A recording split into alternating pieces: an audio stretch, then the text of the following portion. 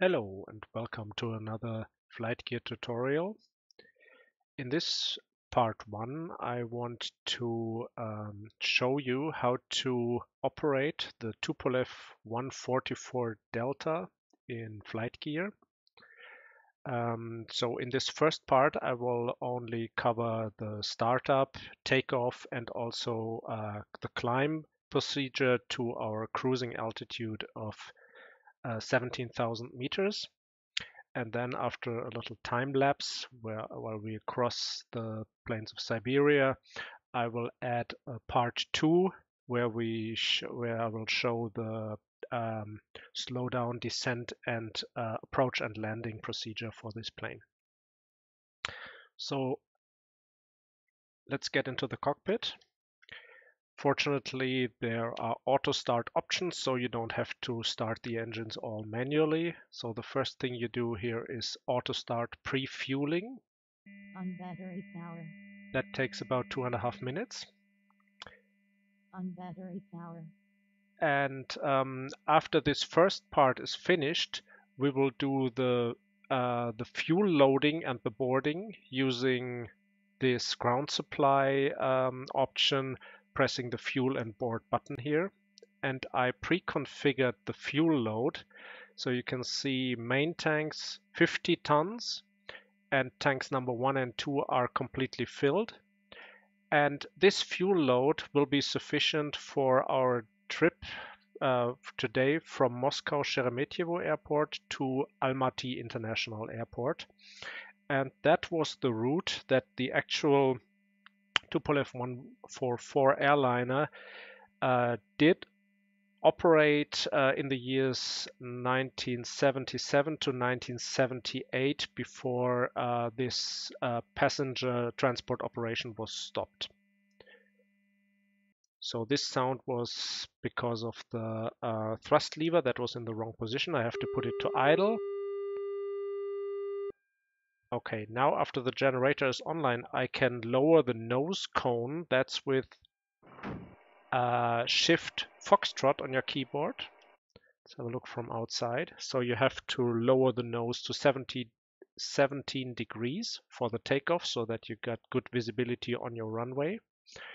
And the second preparation with uh, using the flaps button on my joystick I will uh, extend the canard wings behind the cockpit. So press it three times and then you can see how the canards are extending. These two preparations you need for a successful takeoff.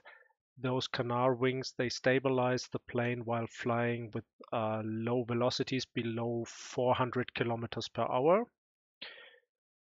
Note that all the instruments here and all the readings are in the metric system, so in meters and kilograms, and not in uh, knots and feet like you may be used to. So if you have to do the math, if you have to quickly calculate, you have to multiply, for example, the altitude here in this altimeter by three, and this is gives you roughly your uh, altitude um, in feet. So our target cruising altitude, I can make the yoke disappear pressing the Y button on my keyboard. The target altitude will be 17,000 meters. So I turn this dial here to enter the target cruising altitude of 17,000 meters. We will need this adjustment later. Okay, so we are now ready to load the fuel and the passengers. So we go to ground supply we pre-selected uh, the target fuel load and then I press the fuel and the boarding button. And now the plane should be sufficiently fueled up for the journey from Moscow to Almaty. Then uh, another thing, the air pressure. Let's have a look at uh, the weather conditions. So it reads uh, 1006 hectopascal and normally this is after startup of the plane, when you start up the FlightGear flight simulator. Here in this plane, this is pre-selected. So 1006 is not available, but 1007 will do. And once we have reached uh, 2000 meters altitude, I will change the QNH to standard to um, uh, to 1013 uh, hectopascal. Okay, now how about the route manager? Here autopilot menu is disabled, but you got the route planner. And I already loaded um, a flight plan from the internet, from flight plan database. This is a standard flight route from Moscow to Almaty. I think it will more or less fit for for this uh, plane, but I think for a plane that is capable of cruising in Mach 2 velocity, maybe there are too many checkpoints here, too many course corrections, so we have to tweak it to make it work. Uh, let's have a look at the map to see what this route looks like. You can see it is goes to southeast. And here is a sharp turn. We will eliminate this by deleting the two uh, waypoints AKB and Adrat. Let's look here in the checkpoint list. AKB, remove, Adrat, remove. And now this has smoothened our flight path. And at the end of the route, this just goes for a direct approach to the runway. Of course, you cannot approach the runway like this uh, with your plane. So before we uh, start the uh, approach pattern, we have to find out which runway orientation is in use. It's either direction 50 degrees or 230 degrees. The ATIS radio from Almaty will give us uh, the sufficient information to choose if we have to approach Almaty from the west or from the east. So that's to be decided later. Some more entries. So for the takeoff, I will not choose a departure pattern. I will also not choose a runway yet. So no approach pattern, no stars. Cruising altitude will be around about 51,000 feet cruising speed 525 knots and that should equal uh, roughly Mach 2 in, a, in this altitude of uh, 51,000 feet. So let's activate this and already jump to the first waypoint Nokti. Jump to. And now for the HSI for, for the HSI instrument, I have to choose the input signal here with this uh, switch on the overhead panel, I switch it to the leftmost position, HSI source. INS is the initial uh, inertial navigation system, and that should make this green line on my HSI instrument, on my, on my compass instrument, point into the direction of the first waypoint here, Nokti, this radial here and this we will use after takeoff to turn the plane into the direction of the first waypoint Nocti using the autopilot. Okay, next thing, we have to start up the four engines. Here the exhaust gas temperature is still zero. So auto start startup. This takes uh, around about five minutes. So now the board engineer will fire up one one uh, engine after the other and once this is done and the APU is stopped we are ready for takeoff.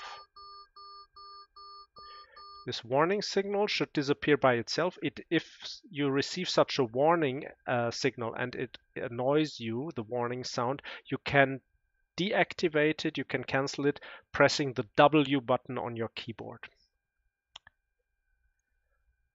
Okay. Next thing, our transponder for the Squawk. It is adjusted to 4711, but the transponder mode is on standby, so I will turn it to mode Sierra, which transmits the code 4711 and our current altitude.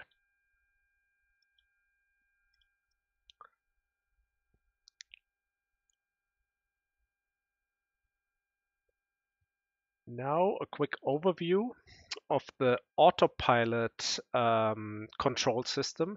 Here on this panel on your yoke, you've got different buttons to operate the autopilot of this plane. So this button here on top, when you press it, you activate the toga mode, so take off go around. This will make the thrust lever position of your plane go to maximum so it detaches uh, the the thrust lever position of the plane here in the simulation from your actual thrust lever position on your uh, on your uh, joystick. So you have to readjust then on your joystick later, and uh, that will make the plane fully accelerate uh, for an auto takeoff uh, procedure. You could also uh, do a manual takeoff as well, just pushing the thrust lever of your joystick forward on uh, manually. That's uh, just as good. So the yoke symbol here on the right side, it indicates that you've got manual pitch control with your joystick or yoke, whatever you're using here for the simulation. On the left side, it is for the roll movement, meaning uh, to control the ailerons. Here, this uh, when you press the yoke symbol on the left side, you always get an information uh, tag when you cross with your mouse pointer. When you cross this button, then it tells you that the manual uh, roll is on. To keep the uh, to keep uh, the plane in a neutral position. So to level the wings, you press this button here on the left side in the middle. Then uh, to hand over the pitch control of your plane from the, from your yoke to the autopilot, you press this button here on the right side, and then with the two keyboard keys F4 and F5, you can pitch down and pitch up um, controlling the autopilot. So you have to remember these two shortcuts. F4 and F5 are two keys that you will have to use quite frequently during the flight. When you have leveled the plane here, you can do a, a roll left maneuver pressing F7 on your keyboard. You can roll right you pressing F8 and you can level the wings again pressing F6 on your keyboard. The speed of your plane is controlled using this yellow speed bug here in the speedom uh, speedometer. The speedometer is in kilometers per hour. So after takeoff, we will try to target for 400 kilometers per hour. And this is done using control and page up and control page down to increase or decrease the target speed, which is indicated by this yellow speed bug here in the speedometer. Now, if you want to make the plane follow the flight plan that is inserted in your route manager, you have to press these two buttons here. First, the flight director route roll to arm this option and then to finally activate the option you have to press this left arrow button on your autopilot panel here and then the plane will follow the path of those different waypoints of the uh, flight plan that you've entered in the route manager to make the plane uh, ascend or descend to a certain target altitude, meaning the altitude that you have adjusted here in this altitude instrument, you have to use these two buttons on the right side of your uh, autopilot panel. You first arm the option, pressing this center button here, Flight Director Route Pitch. And then to activate this option, you have to press this arrow button but sometimes it refuses this command. So sometimes you have to try many times and you have to try different pitch options before the uh, autopilot finally accepts this command to follow to follow uh, the pitch your pitch um, selection with this right arrow button. We will maybe experience these uh, problems later once we are on our um, cruising flight level of 17,000 meters. So all four engines are up and running. Uh, thrust lever is set to idle, which means 40%. And let's have a final look from outside. Yeah, nose is down. Canards are deployed. that looks all fine. We just have to wait for the APU to be shut down and then we are ready for takeoff.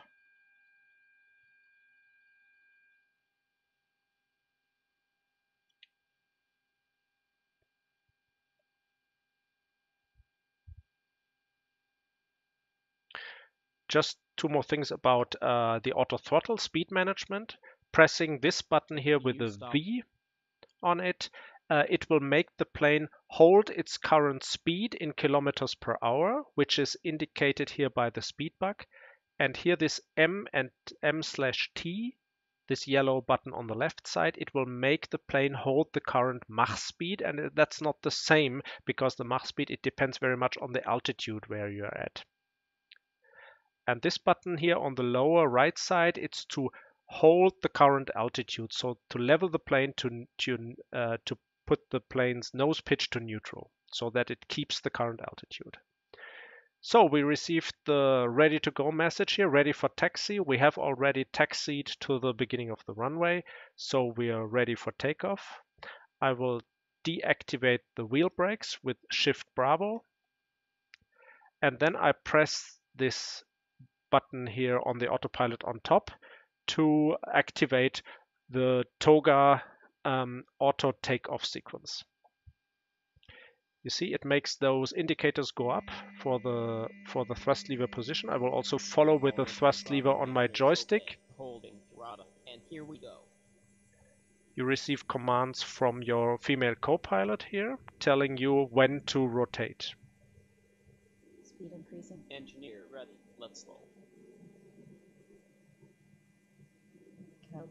Ready. Let's go. Decision. 300. Rotate.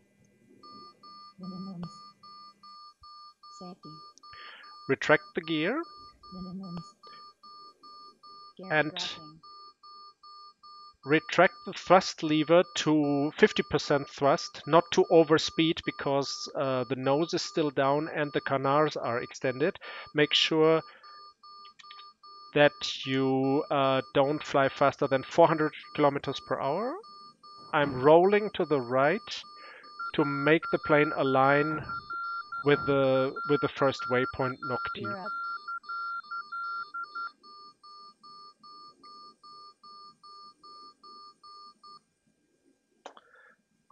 Still manual controls. Now I want to pl uh, the plane first to level the wings.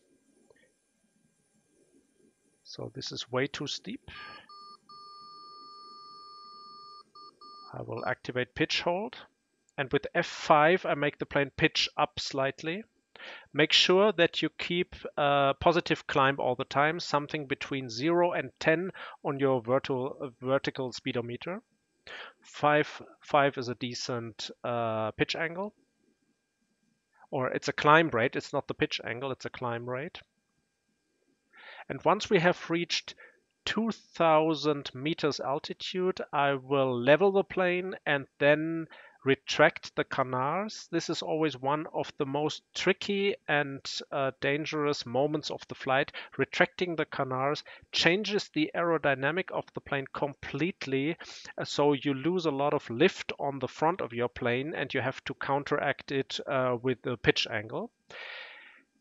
Um, like with the Concorde, you can do um, you can do uh, um, elevator trimming with the with the fuel tanks. So with Control K, you activate the auto auto center of gravity auto CG to climb because currently we are climbing. You can uh, repeat this command Control K to make the plane go to uh, cruising, so to for a neutral um, trim, fuel trim, descent fuel trim, and switch it off altogether. And now we go back to climb fuel trim, and your uh, aircraft engineer will do all the work of uh, trimming between the front and aft fuel tanks. Let's have a look from outside. So the gear is retracted, got quite a steep angle of attack But if the if we exceed certain limitations, then here this alpha light on the left of your dashboard will be lit. It means alpha means it's an angle of attack warning that the angle of attack is incorrect, mostly if it's too steep.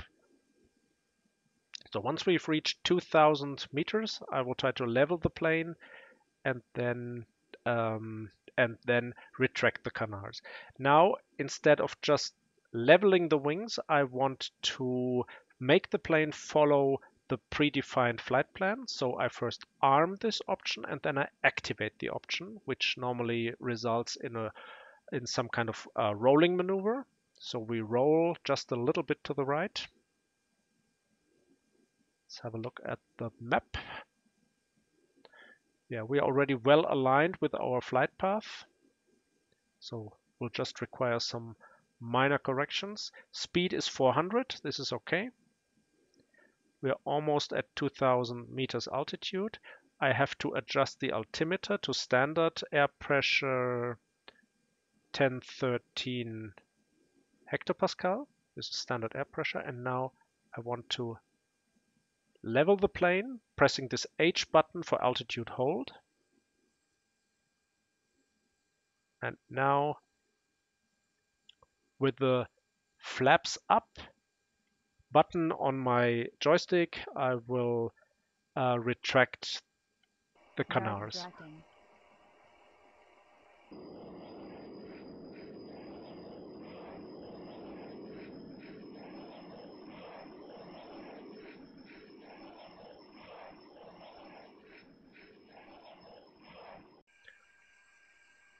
Let's have a look what this does to our pitch angle. So the autopilot tries to counteract the sudden uh, loss of lift on the on the front of the plane. Now we get a warning that we are.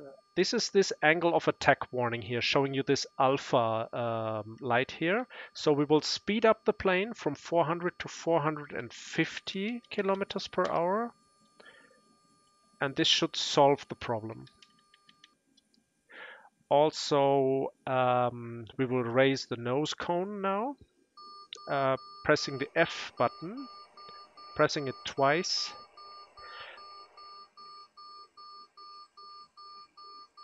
So this warning here is uh, velocity that we are too slow, but now that's gone.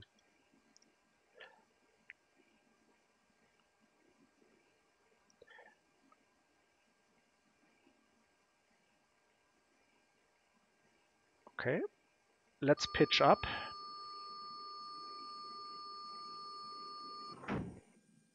So we will now climb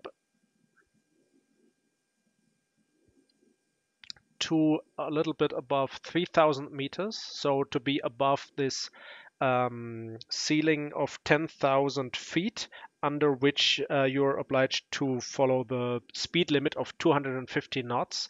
So we are now uh, around about 240 knots here.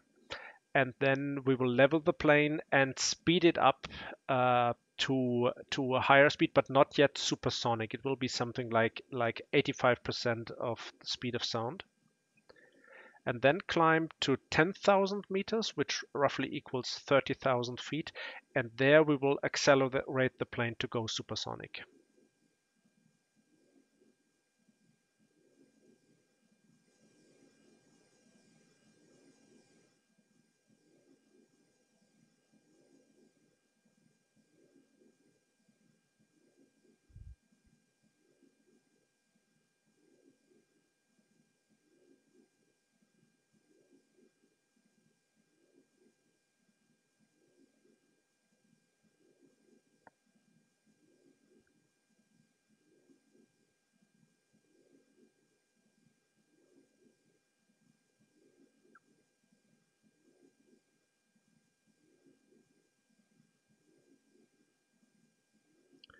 So we're now above 3000 meters. I will level the plane. And also with Control K, I will uh, advise the board engineer to uh, give us a, a, neutral fuel trim. And now we will accelerate the plane using Control Page Up to crank up this little yellow speed bug from 450 to 600 kilometers per hour, which is still subsonic.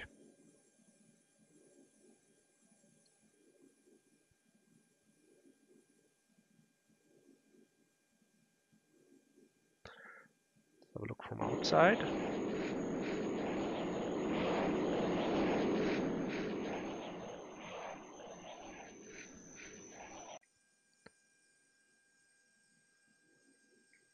So we've reached 600 kilometers per hour. We want to keep this speed while climbing to 10,000 meters altitude. So climb rate between 5 and 10 will do. Just make sure that uh, you don't slow the plane down with a too steep pitch angle because you want to keep this speed all the time here. You don't want to sacrifice speed for altitude or climb rate and vice versa.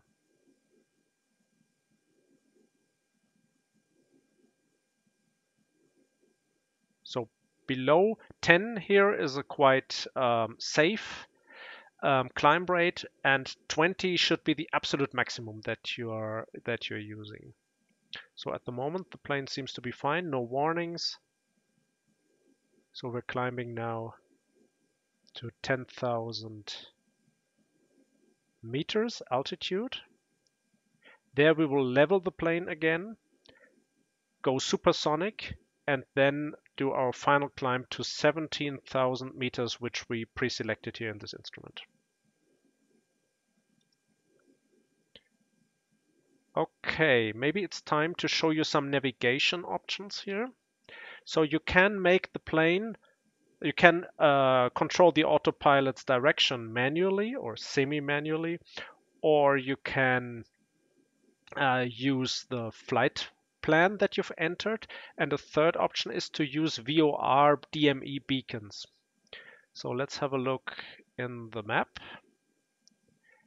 And let us show some nav IDs. For example, here, this beacon PNZ, it should be in range. The data reads 113.8 megahertz. So let's go to the overhead panel using the V button on your keyboard. Okay, so these two frequencies here on top, they are for communication. For example, this 129.8, this is the ATIS frequency of the Almaty airport. We need this later. And the two lower frequencies they are for nav1 and nav2 so i will enter the 113.8 into our, my nav1 radio. So those uh, buttons here they are very dark. You can light them up with control c. So 113.8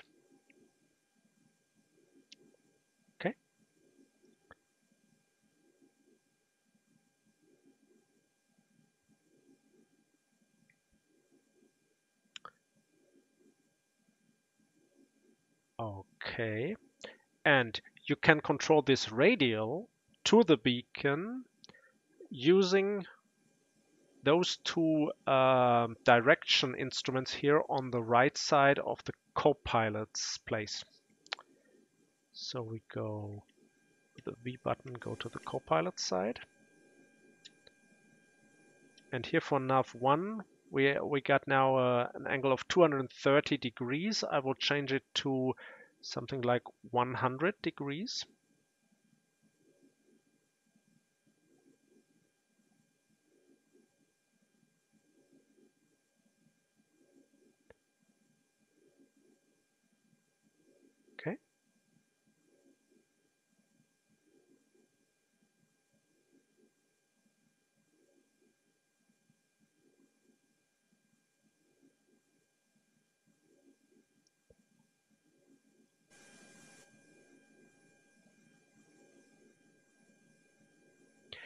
And now with this switch here on the overhead panel, you've got different options which input is used in your H in your HSI instrument, meaning in this compass here with the green line.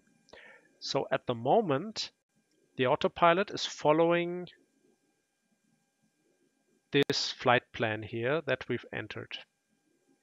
And now I will change to uh, the autopilot to just wing leveler to keep the current direction. And now, for example, when you turn this when you turn this overhead switch here from the leftmost position, INS, to direct nav 1, it will make the plane change the course and head to the selected VOR in a direct in a direct uh, approach. So it will turn directly towards this radial. So let's do this. We press this left button and that should make the plane bank to the right and should make it aim directly for the VOR whose um, uh, frequency we've entered in the radio stack.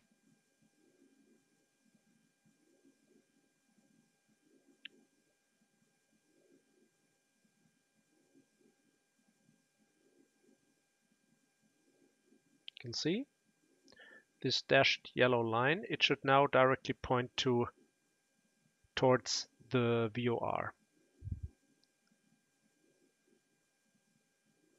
It doesn't do it immediately, it needs some adjustments, and then finally the plane will aim directly for this VOR.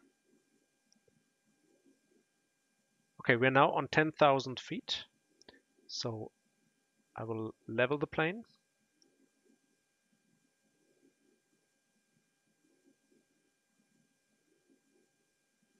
And make it return to the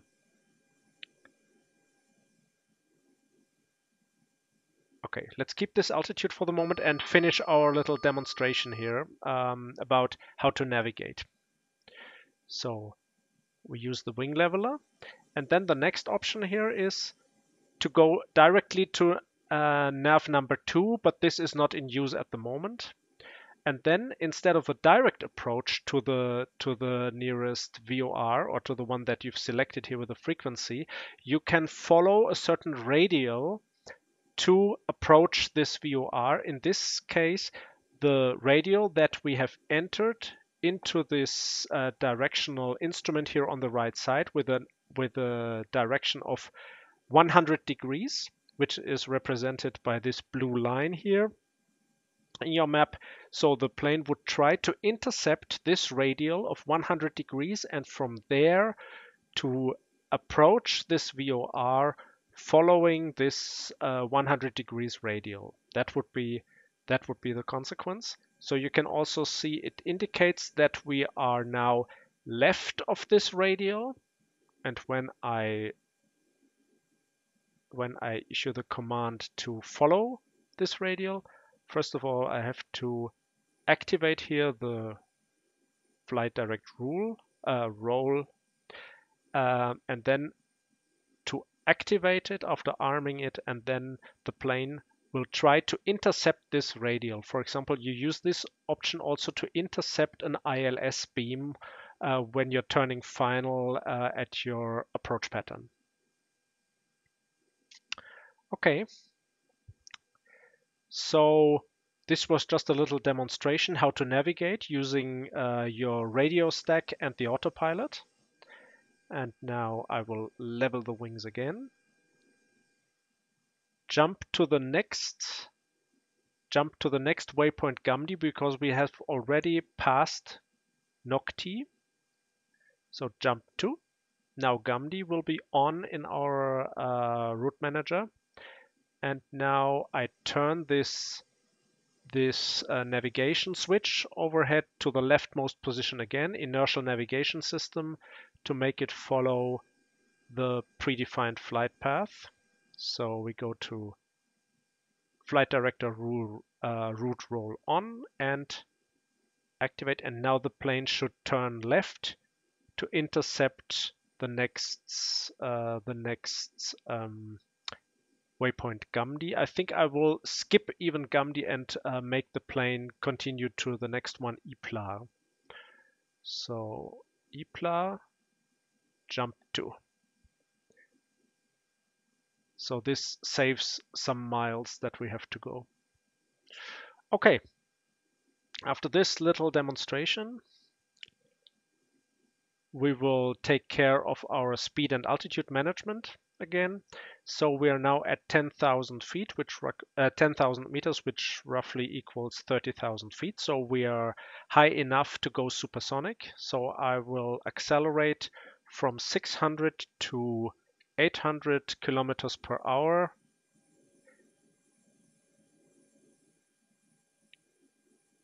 And also the fuel trim. So I do this with control page up and fuel trim with control K. I will adjust it to cruise because we are still keeping our plane leveled to make it a little easier for the plane to accelerate. And this will make us go supersonic because at the moment we are just below the sound barrier here in your Mach speedometer. And now we are crossing the sound barrier, but it is not animated uh, at this plane model. When you look from outside, you don't see something like a Mach cone or, or any, um, any uh, animation for it. You just have to rely on your instruments.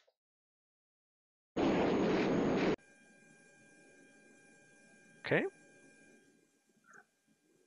So we will wait until our plane has reached 800 kilometers per hour. This roughly equals Mach 1.2 uh, in this altitude. And then we will climb to our cruising altitude of 17,000 meters.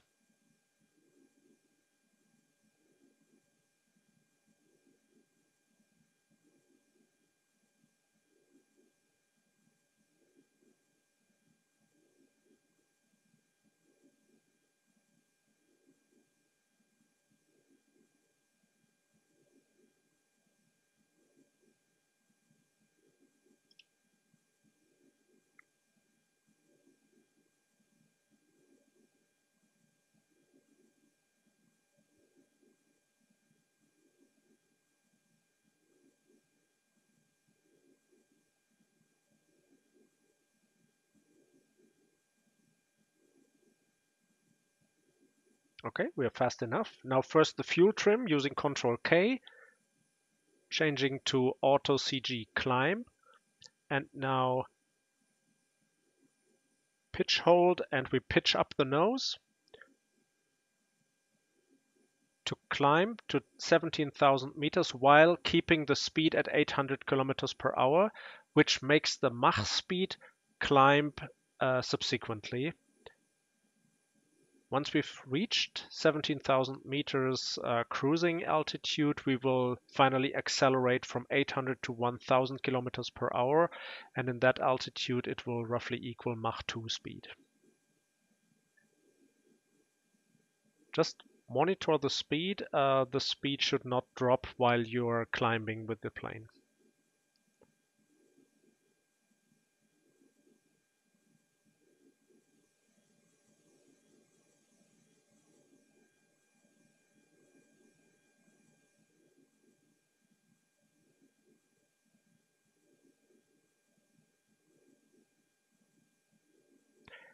I can uh, also use the autopilot now to demonstrate how to uh, guide the plane manually back to this flight path. So I go to the wing leveler and then pressing F7 on my keyboard, it makes the plane bank to the left.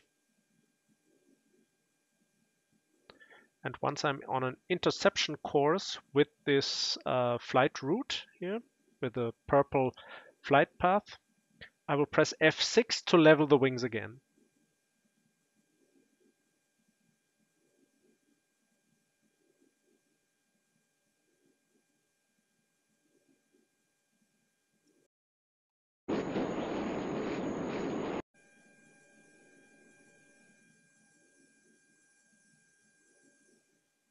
Okay, I press F6,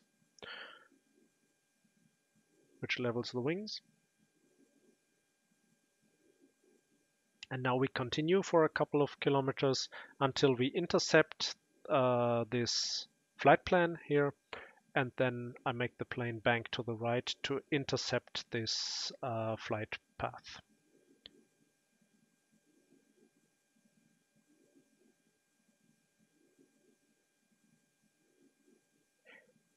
So uh, those messages on top here, they are uh, they are in orange color when you the plane is out of the pre-planned trimming range here. So the the uh, plane's engineer is very busy to do the fuel pumping from front to aft to trim the plane backwards to to uh, to support the climb operation. Now, when these uh, these messages are in white, it means you are within the pre uh, predefined corridor of um, of fuel trimming. Meaning white means okay, orange means potentially not okay. Maybe you have to double check the trim with your Control K buttons. You can also see, although the uh, the plane's speed in kilometers per hour is totally stable at 800 kilometers per hour, the Mach speed of the plane keeps increasing while we are climbing.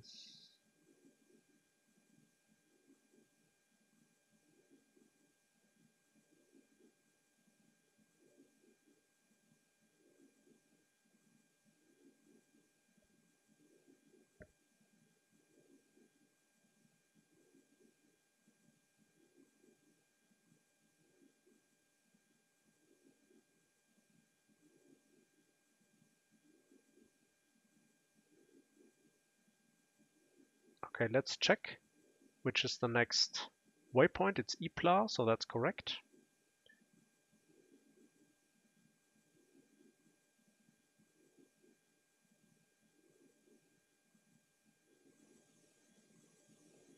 Okay, we have already turned this switch to inertial navigation, meaning follow the flight plan.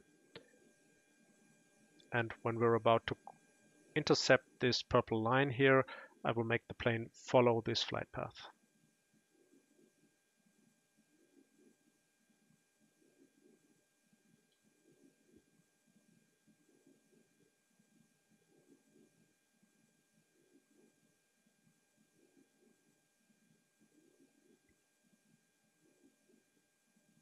Okay, let's do this now. Now the plane should bank to the right to intercept the flight path. So one more button to be explained here. This button here on the lower left side of the autopilot panel, it says course hold. Course hold means uh, to make the plane uh, turn into the direction of this yellow uh, heading bug on your HSI instrument but I was unable to figure out how to move this um, how to move this um, directional bug here, this little uh, bug in the HSI. So it would be helpful if if one of you spectators uh, can find out how to move uh, this heading bug here in the HSI instrument, how, how this is done, because I did not find out. I tried many different uh, options and ways, and I was unable to find out how to move it. And so this lower left button course hold, it remains unusable for me at the moment. It would always make the plane turn to the north, zero degrees, and this is no use. So this is still um, unsolved mystery for me in this plane, how to uh, how to operate the heading bug.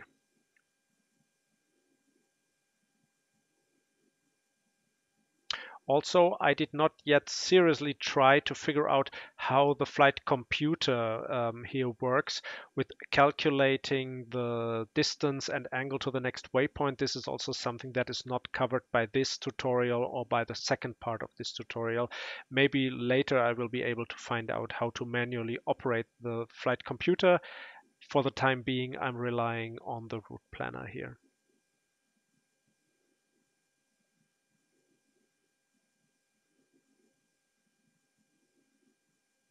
Okay, I have to pitch up because the pitch is almost neutral. We are not climbing. So with pressing F5, I will pitch up the nose of the plane so that we start climbing again.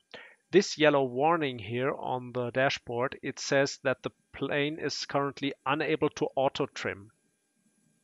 Uh, it disappears now. Maybe that was simply uh, too shallow of a pitch angle for the climb uh, fuel trim. This is now too steep. We're losing speed, so I want to reduce the climb rate to 10. Here, 20 is simply too much. You can also see how the yoke is moved by the autopilot when you press the F4 or F5 button. So a climb rate around 10 would do. You can lose a little bit of speed, but not too much, because you can make up for that once you've reached your um, cruising altitude. We have to accelerate to 1000 kilometers per hour anyway once we've reached our ceiling.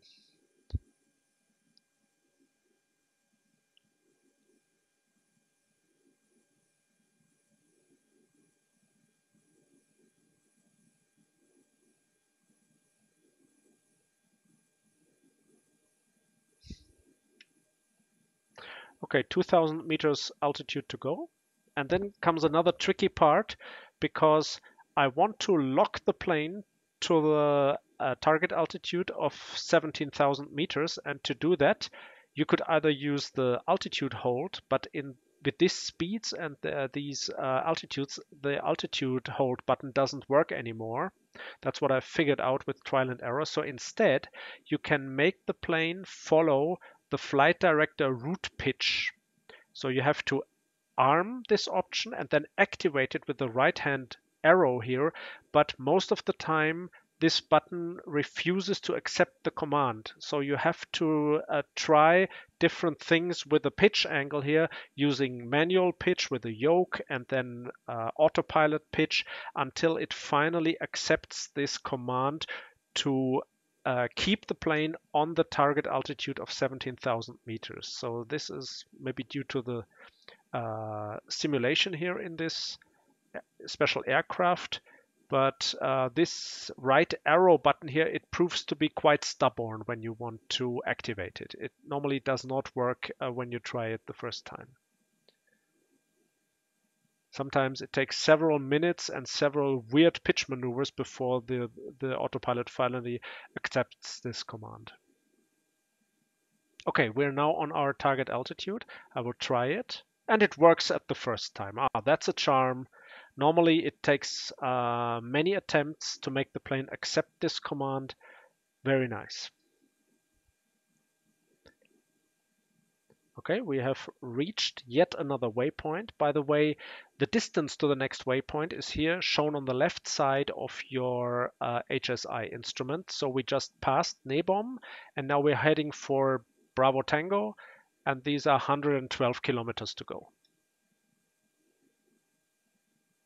It's the same for DME readings. So when you're heading for a VOR DME beacon, then here this uh, these numbers on the uh, upper left side of the HSI instrument show you the distance in kilometers to this VOR DME. So now we're exactly at our target altitude, 17,000 meters. Also the vertical speedometer, it uh, goes to neutral. And now we have to speed up the plane, control page up to crank up the speed back to 1000 kilometers per hour and that should make the plane accelerate to Mach 2 speed here in the Mach speedometer. So this is active, flight director roll, flight director pitch, it's all active. A little bit of fluctuation here with the pitch is not critical, it's no problem.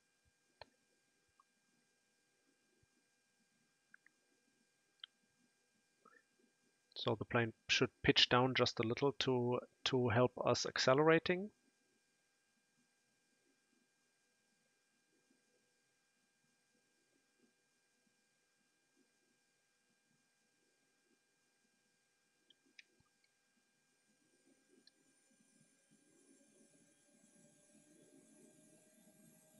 Okay, let's crank up the engines a little more.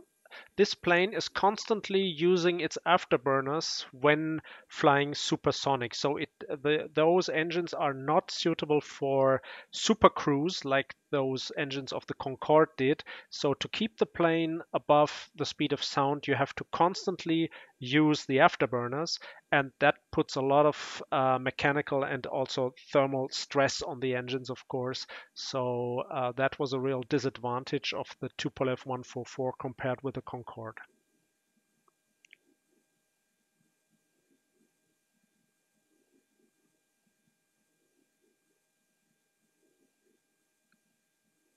So I will pitch down a little bit using the F4 button because when the pitch is positive here, then um, it's impossible to accelerate to Mach 2.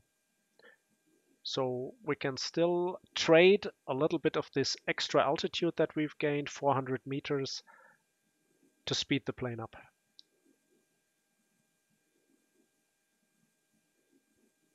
Still pitch by flight director is still on. This is very important, especially when you want to use time compression to pass the time flying across Siberia here. This would take several hours if you just keep it uh, with a neutral time. So I use a four times time compression here. And the plane keeps its uh, speed and altitude very reliably once you have reached the, uh, your target um, values of Mach 2 and 17,000 meters and switched on this option pitch by flight director.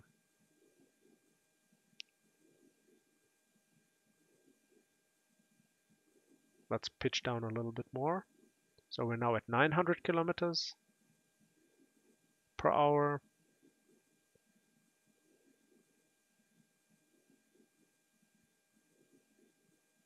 Speed keeps increasing.